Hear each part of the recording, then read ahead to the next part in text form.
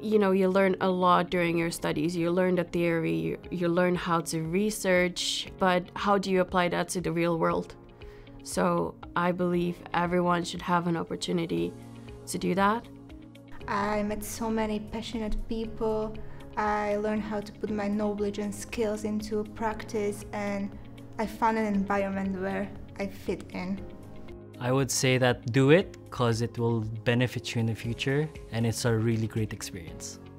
It actually expands your horizon. You can get to learn a lot about the community, the people. You can make connections, build networks, and these are all important for your career.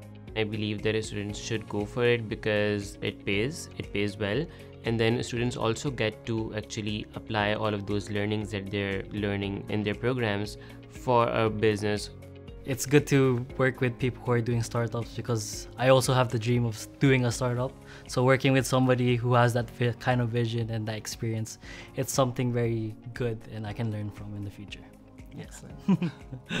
Don't be scared because I was scared for three years. I didn't take any of the opportunities that we had. I have met a lot of great people along the way. I have learned a lot. So if you have that fear, you know, just apply and just go for it. It's it's great.